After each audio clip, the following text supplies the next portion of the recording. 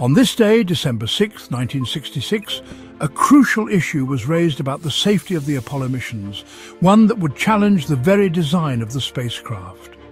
Apollo's lunar module and command service module were meant to work together during missions, but a major obstacle was identified. MSC Director of Flight Crew Operations, Donald K. Slayton, pointed out to ASPO manager Joseph F. Shea that the concept of a rescue operation between the LM and CSM was simply impossible.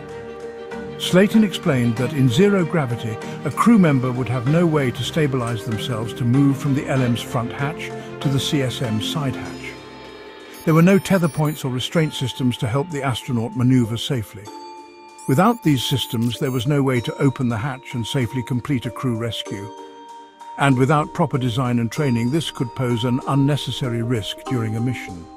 Slayton also raised concerns about the Apollo inner hatch, heavy and difficult to handle. The fear was that it could damage vital spacecraft components or disrupt the pressure seals. To resolve this, more spacecraft changes, extensive training hardware and additional zero-gravity testing were needed to safely conduct extravehicular crew rescue between the lunar module and the command module. Until these issues were addressed, Slayton emphasized that any manned LM to CSM operations would carry unnecessary risks.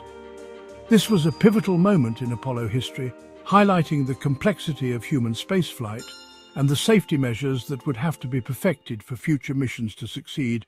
For more space history, don't forget to subscribe.